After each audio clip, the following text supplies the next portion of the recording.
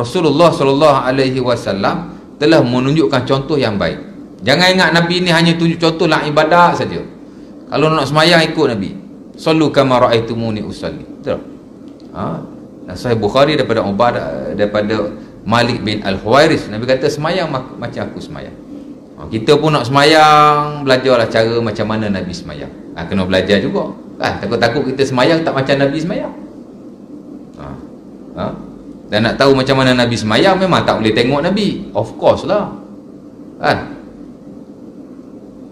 Kita kena belajar bagaimana cara Nabi ajar para sahabatnya semayang. Ha, itu caranya. Ha? dan belajar dengan guru yang betul. Belajar. Ha? sama juga dengan puasa zakat haji dan lain-lain ibadah uh, khusus kepada Allah subhanahu ta'ala. Tapi uh, Nabi SAW juga contoh dalam hak awal muamalah Jangan ingat zaman dulu kolok sangat kan. Tak ada benda, tak ada. Ha, Nabi telah menunjukkan contoh yang baik. Sebab itu bila tuan-tuan buka Quran dan surah Al-Ahzab, Allah Subhanahu Wa Taala menyatakan, "Laqad kana lakum fi Rasulillah uswatun hasanah." Ha, ayat ke-21 itu atau 41, saya pun lupa. Ha, Allah Taala kata Nabi ada contoh yang baik. Umum. Tak kira dalam hak ibadah dan selain ibadah yang kita sebut sebagai muamalah termasuk juga muamalah kewangan. Nabi bila jadi penguasa kan selaku orang bertanggungjawab dia juga menjaga hak ehwal muamalah yang berlaku pada zamannya. Nabi pun turun padang. Nabi pun monitor market-market yang ada pada waktu itu yang kita sebut sebagai aswaq Madinah. Uh, the markets of Madinah. Nabi pun turun. Monitor tengok macam mana kan? Uh, mungkinlah zaman dulu tak sama macam zaman hari ni tapi begitulah prinsipnya. Nabi turun di pasar, Nabi tengok kan. Peniaga-peniaga Nabi cek macam mana. Tengok produk dia macam mana. Di situ Nabi sebut apa yang boleh, apa yang tidak boleh. Ha. Kadang-kadang Nabi SAW melihat gandum diletakkan, kemudian Nabi cucuk tangannya, maran Nabi uh, uh, bi, bi, bi subratim min uh, macam mana hadis itu hadis Bukhari daripada Abi Hurairah katanya Nabi SAW lalu uh, kan Kemudian Nabi celuk tangan dia ke dalam gandum lalu di di, di kedai dan seumpamanya Nabi celuk tangan dia dalam gandum. Maran Nabi bisubrah ta'am. Fa adkhala asabi'ahu fiha fa asabat balalan fa qala ma hadha ya sahib at-ta'am. Fa qalat fa qala asabathu as-sama. Fa qala Nabi afala ja'altahu fawqa at-ta'am hatta yakul uh, likay yarahu an-nas man ghashana laysa minna hadis ni saya pernah baca dulu masa kita belajar tak boleh menipu dalam urusan muamalah. Tapi saya baca hak ujung tu kisah tu saya tak baca kan. Ha, dia hadis agak panjang sikit saya ambil hak ujung. Ha, dalam bab al-rish gitu bab tak boleh menipu tak boleh buat pemalsuan atau seumpama. Ha, tapi kisah dia macam tu. Nabi berjalan pergi ke pasar buat monitoring. Nabi tengok ada gandum Nabi cucuk tangan dia ke dalam.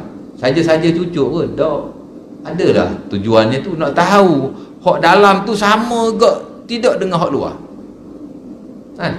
Nabi nak tahu adakah makanan ataupun gandum itu yang berada di ha- di bahagian atas sama atau tidak dengan bahagian yang berada di dalam? Ha, nak mengelakkan daripada penipuan. Nabi pun cucuklah tangan dia ke dalam.